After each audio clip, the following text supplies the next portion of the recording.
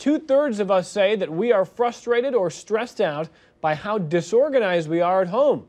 You've probably seen best selling author and organizational guru Peter Walsh on Oprah, and this morning he'll tell us about a new Organize This contest. It comes with a $20,000 makeover from California Closets, and I hear a visit with Peter himself. Good morning, Peter.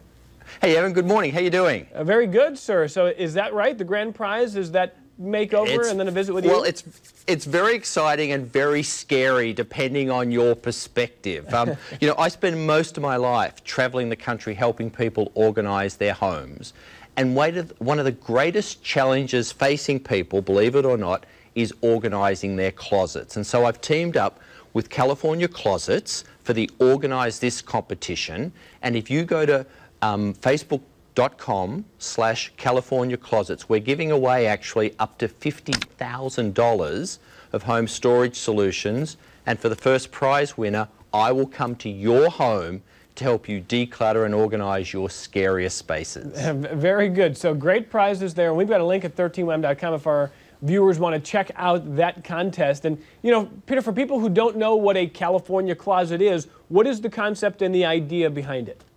Well, the, the idea is that a little organisation goes a long way in organising your home and your life. And I've seen that you can't make your best choices, you can't make your healthiest choices in a cluttered, messy, disorganised home. So the whole idea is basically to get people to look at how their homes are disorganised and to really get a little motivated, and the contest helps enormously to really get their homes and their lives back in shape. I'm looking over your shoulder and I'm seeing yeah. what, what I really like about California closets is we often think in our closet we've got floor and we've got a hanging rack and that's all we got. Whereas California closets, they kind of make great use of space, don't they? Well, you know, it, it's interesting that, you know, this organisation I'm pretty happy to work with because excitingly it's not just about closets it's about you know any functional space in your house be it the garage your home office or the closet Here's an opportunity to look at all of those areas in your home and get both California Closets and me in there to help. And if you actually go to the Facebook page, you'll be able to see a ton of examples already of people who've entered. They've taken a photo, they've uploaded it, and they've gotten their friends and family to vote for them. And so it really gives you an idea of the, the whole array of spaces that people are struggling with. Peter, when we meet people who have had to lose weight, for example, they sometimes have trouble keeping it off. When we meet people who have organizational issues, I imagine yeah. they may have trouble keeping the clutter out, even when they finally get organized.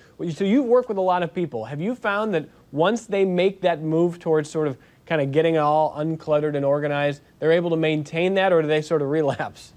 You know, it, it depends on how they approach organization. If you focus on the stuff, you will never get organized. The starting point in making changes with your clutter and organization is to first ask yourself, what is the vision I have for this space? What do I want from this space? And then start asking, do the things I own help me create that space, help me create that vision, or do they move me farther away from it? And so I've found that people backslide if it's just about moving stuff around, but if it's asking about quality of life and how your things create that, I find that permanent, long-term change is really possible. Yeah, that's great stuff. And just under a minute left here, uh, do you find that we have too much stuff? And I'm not saying we're all hoarders. I mean, that's sort of a, a big leap there. But do we have too much, and can we most of us stand to get rid of some of the things we've got? Yeah, you know, I, I, it's an interesting point, and I think many of us have bought into the idea that more is better.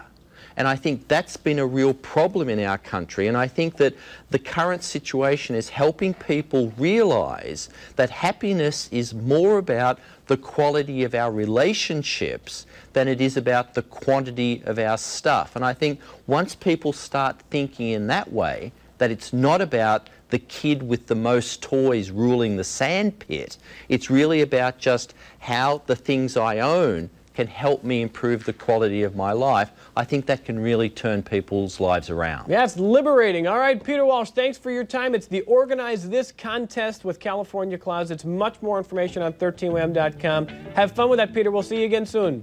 Thanks, Evan. All right, much more to come at 13 Wham News this morning. Weather forecast Coming up next, we look ahead to the weekend.